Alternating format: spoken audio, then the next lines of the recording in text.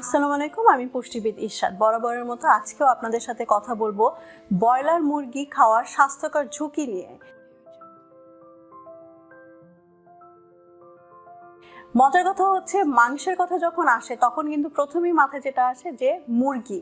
এবং এই মুরগিটা আমাদের দেশে এখন কিন্তু আগে আমরা দেশি মুরগি খেতাম, এখন কিছু পাকিস্তানি মুরগি থাকে এবং সবচেয়ে বেশি আমরা যেটা খাই সেটা হচ্ছে ব্রয়লার মুরগি।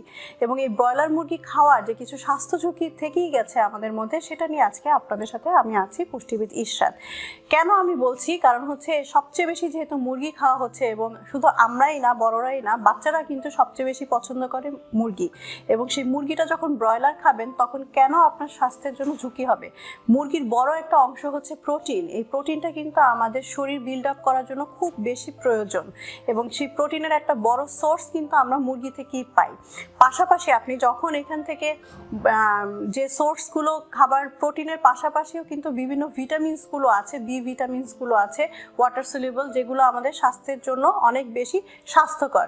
কিন্তু যে উপায়ে এই ব্রয়লার মুরগিকে বড় করা হচ্ছে এবং যে খাবার খাওয়ানো হচ্ছে এবং যে অ্যান্টিবায়োটিকগুলো দেওয়া হচ্ছে, সেগুলো কিন্তু আমাদের স্বাস্থ্যে ঝুঁকির মধ্যে পড়ে যাচ্ছে।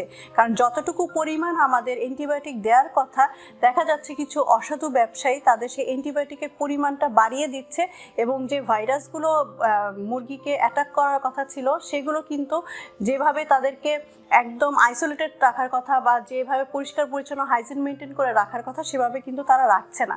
এবং সবচেয়ে বড় কথা হচ্ছে ক্রোমিয়াম যুক্ত যে খাবারগুলো তাদেরকে দেয়া হচ্ছে, এটা কিন্তু অবশ্যই আমাদের মাথায় রাখতে হবে। ক্রোমিয়াম এমন একটা ধাতু যেটা মুরগি তার খাবার থেকে যতটুকু পরিমাণ খাবে, সেটা কিন্তু তার লিভারে স্টোর হচ্ছে এবং সেই লিভার যখন আমরা খাচ্ছি এবং তার বডিতে যখন সেটা ছড়িয়ে পড়ছে, সেটা আমরা যতটুকু খাব, মুরগির শরীরে যতটুকু থাকবে, ততটুকুই কিন্তু আমার শরীরেই চলে আসছে এবং আমার শরীর থেকে সেটা কিন্তু কখনোই সেটা ডাইজেস্ট হচ্ছে না।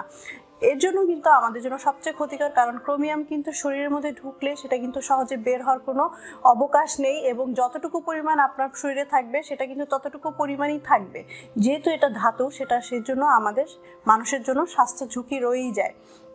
এর জন্য আমরা পুষ্টিবিদরা বলে থাকি যে আপনারা অবশ্যই যখন ব্রয়লার মুরগি খাবেন তখন হাড়ের যে অংশটা সেটা আমরা অনেক খেতে পছন্দ করি, সেটা আমরা যদি অ্যাভয়েড করে চলি, যেটা মগজ আছে যে লিভারটা আছে, সেটা যদি আমরা অ্যাভয়েড করে চলি, তাহলে কিন্তু আমাদের স্বাস্থ্যের অনেক ঝুঁকিটাই আমরা চেঞ্জ করতে পারব।